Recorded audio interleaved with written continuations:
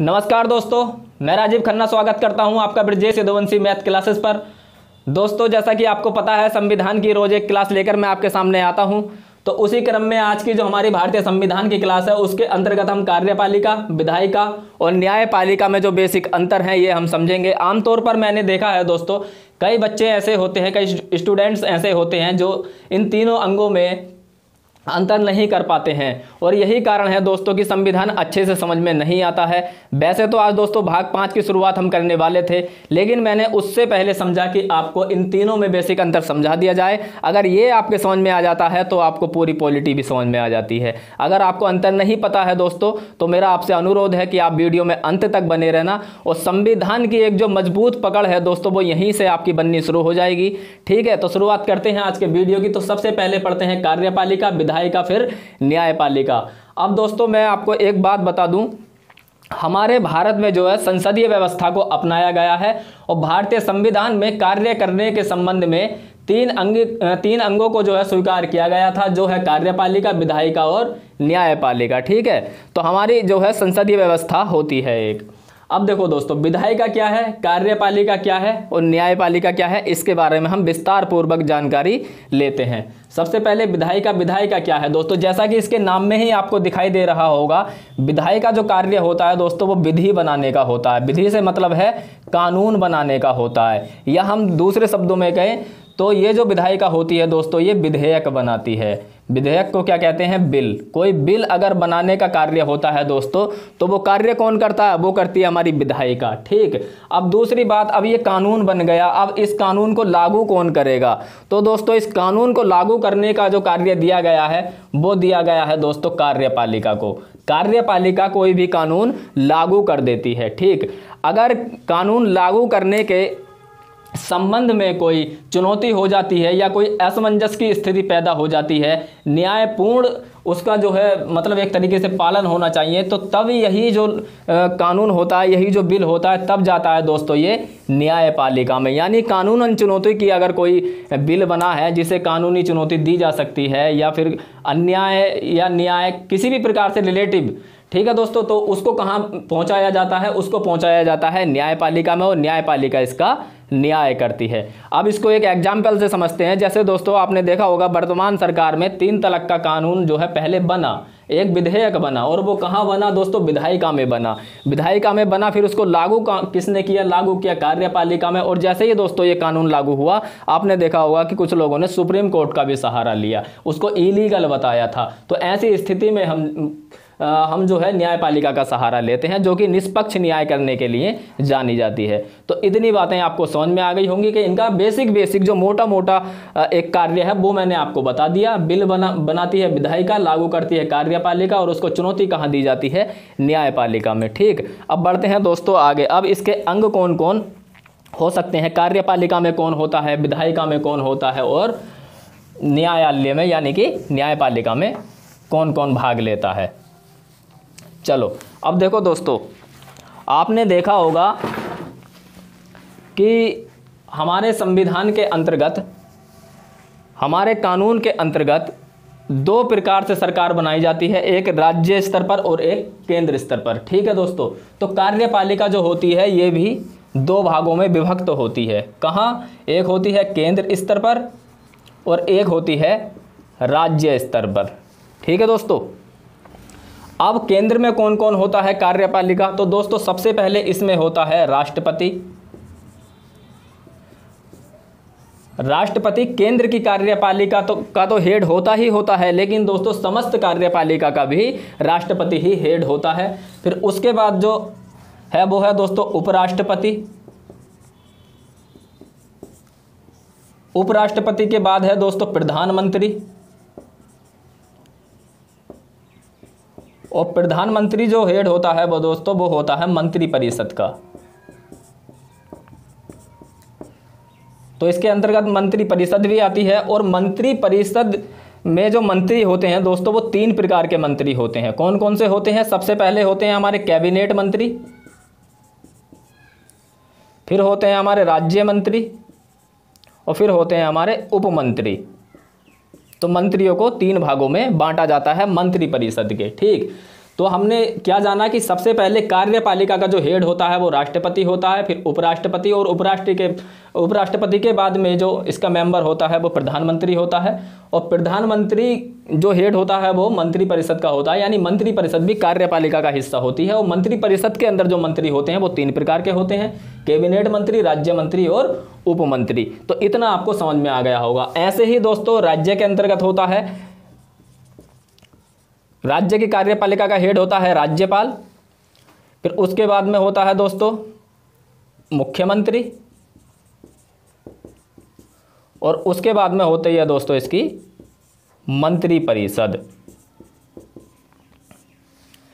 ये कार्यपालिका होती है मोटे तौर पर राज्य की और केंद्र की ठीक है? अब इसमें भी दोस्तों मंत्रिपरिषद जो होती है आ, ये तीन प्रकार की होती है। जैसे कि मैंने बताया तीन तरह के इसमें मंत्री होते हैं लेकिन ये जो कार्यपालिका है ना इसमें इसको भी दो भागों में हम लोग बांट सकते हैं। चाहे राज्य की हो या केंद्र की हो किसमें बांट सकते हैं? एक जगह बांट सकते हैं हम स्थायी और एक जगह कह सकते हैं हम अस्थाई स्थायी वह होते हैं जो एक निश्चित समय सीमा के लिए मतलब एक उम्र के हिसाब से, जैसे कि साठ बासठ साल तक वो हमारे देश में कार्य करेंगे एक, है ना? तो जैसे कि आईएएस लेवल के जो वो होते हैं अधिकारी तो वो आते हैं स्थायी के अंतर्गत, जिनको हम 60 से पैंसठ वर्ष या बासठ वर्ष तक उनको रखा जाता है। ठीक है, वो अधिकारी होते हैं और वो भी कार्यपालिका का ही हिस्सा होते हैं, जो आईएएस लेवल के होते हैं, उन्हें हम स्थायी में रखते हैं। और जो अस्थाई होते हैं, जो हर पाँच साल बाद बदले जा सकते हैं, जैसे कि हमारा राष्ट्रपति हो गए, उपराष्ट्रपति हो गए, प्रधानमंत्री हो गए तो ये जो होते हैं हमारे मंत्री लोग, ये आते हैं हमारे अस्थाई में। ठीक है? अब ये राज्य में भी है केंद्र में भी है। तो इतना आपको समझ में आ गया होगा कार्यपालिका का जो हिस्सा था वो कौन कौन सा हिस्सा था। तो इसी क्रम में जब हम आ, क्लास लेंगे तो राष्ट्रपति से ही शुरुआत करेंगे। अब बढ़ते हैं दोस्तों विधायिका की तरफ़। तो विधायिका जो होती है दोस्तों ये भी दो स्तर पर होती है। विधायिका जो होती है ये भी दो स्तर पर होती है। कैसे कैसे होती है? शायद ये आपको दिखाई दे रहा है या नहीं मैं एक बार देख लेता हूँ। ठीक है दोस्तों, ये आपको दिखाई दे रहा है। तो विधायिका भी विधायिका भी जो है, दो स्तर पर बटी हुई होती है। एक होती है केंद्र में और एक होती है राज्य में। ठीक है दोस्तों, अब केंद्र में भी दो भाग होते हैं और राज्य में भी दो भाग होते हैं विधायिका के। मतलब जो विधि बनाने का कार्य करती है, जो कानून बनाने का कार्य करती है। जिसके अंतर्गत केंद्र में हमने देखा होगा दोस्तों केंद्र स्तर पर और राज्य स्तर पर। तो केंद्र में हमने देखा होगा लोकसभा होती है, लोकसभा और राज्यसभा होती है। राज्यसभा को जो है स्थायी सदन कहा जाता है, क्योंकि ये कभी भी भंग नहीं होती है, और लोकसभा को जो है, क्या कहते हैं हम, लोकसभा को कहते हैं अस्थाई इसको उच्च सदन कहते हैं और इसको निम्न सदन कहते हैं। तो केंद्र के अंदर जो विधायिका की शक्ति है वो है हमारी लोकसभा और राज्यसभा। और इन दोनों से मिलकर जो बनती है दोस्तों, वो बनती है हमारी संसद।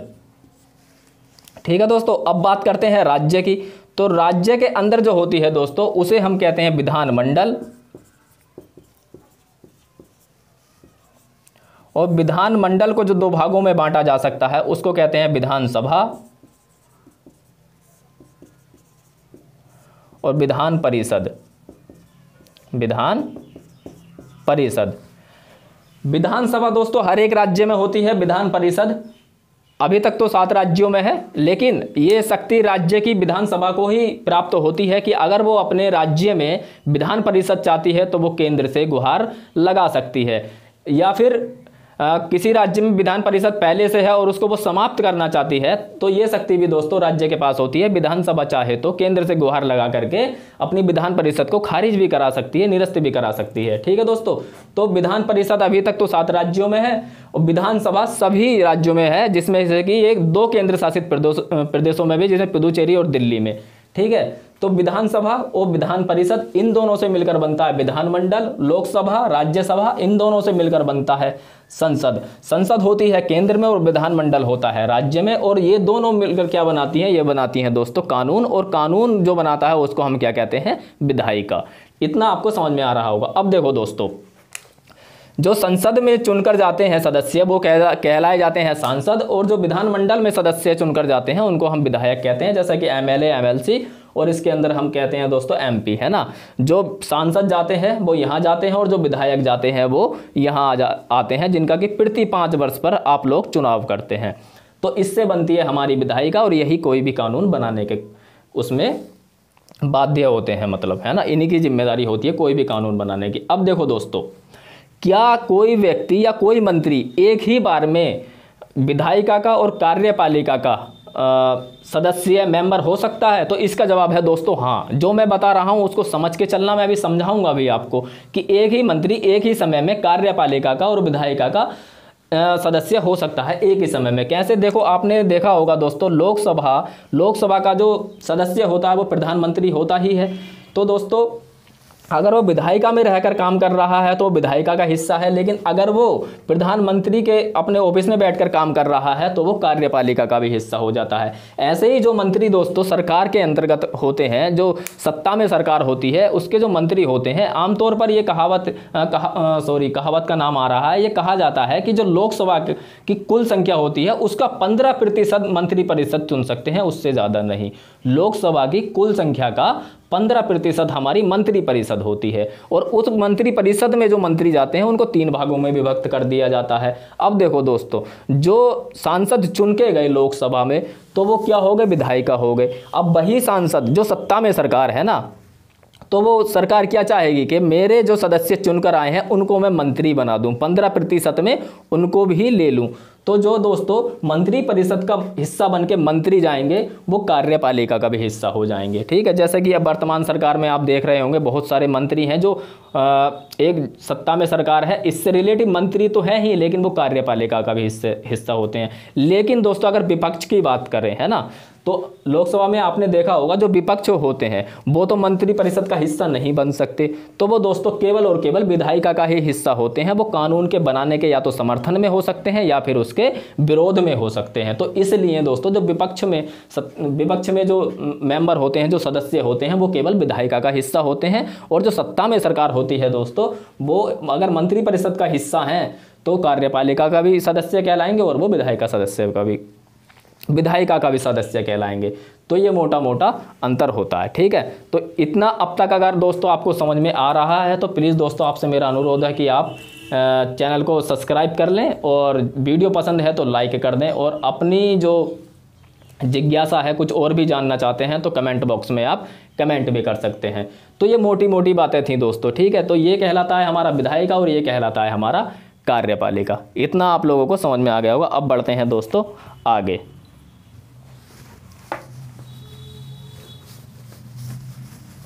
अगर आपको नोट करना है तो आप नोट करते रहिए। अगर आपको स्क्रीनशॉट लेना है तो आप स्क्रीनशॉट भी ले सकते हैं। अब बात आती है न्यायपालिका की। तो दोस्तों, भारत के अंदर न्यायपालिका को स्वतंत्र रखा गया है और एकीकृत रूप में ये कार्य करती है। अब एकीकृत कैसे है दोस्तों? एकीकृत ऐसे है कि एक चेन बनी हुई है, एक, है ना?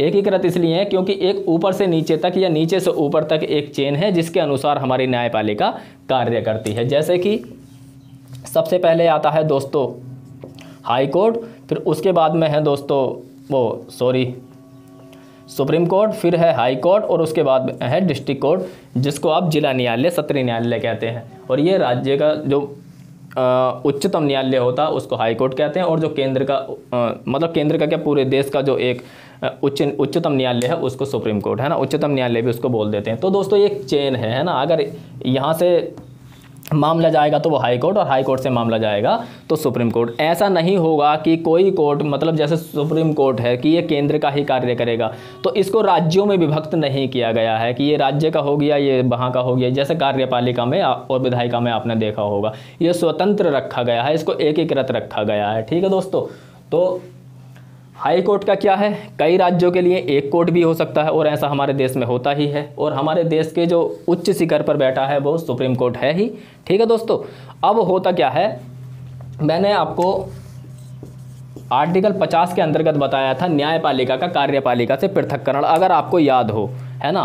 तो ये मैंने बताया था आपको राज्यपाल कार्यपालिका और न्यायपालिका का पृथककरण। अगर दोस्तों, अगर इनका एकीकृत हो जाता तो आपने देखा होगा कि जो सरकार सत्ता में है और अगर सुप्रीम कोर्ट के जो चीफ हैं या मतलब किसी भी राज्य के चीफ जस्टिस मान लो आप तो उन दोनों में एक तरीके का तालमेल हो जाता। अगर वो गलत भी करना चाहते तो वो गलत कर सकते थे। अच्छा करना चाहते, वो तो खैर बहुत दूर की बात है, लेकिन अपनी मन मर्ज़ी के मुताबिक वो लोकतंत्र को चला सकते थे। इसलिए हमारे देश में दोस्तों, न्यायपालिका को स्वतंत्र रखा गया है। अगर यहाँ से कोई मामला बिगड़ता है तो वो न्याय को, न्याय, न्यायालय में जाता है और वहाँ पर उसका न्यायपूर्वक न्याय होता है। ठीक है दोस्तों? तो इतनी बातें आपको समझ में आ गई होंगी।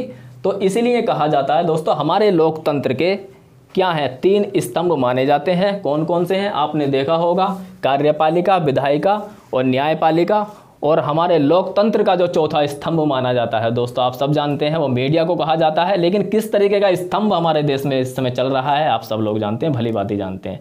ठीक है? तो दोस्तों, ये थी आपकी छोटी सी क्लास। अगर आपको कुछ थोड़ा सा समझ में आया है, थोड़ी सी जिज्ञासा बड़ी है है ना? और जो आपकी पहले एक सोच थी या जो डाउट थे, अगर वो क्लियर हो गए हैं तो दोस्तों, आपसे विनती है, आप चैनल को सब्सक्राइब कर लें।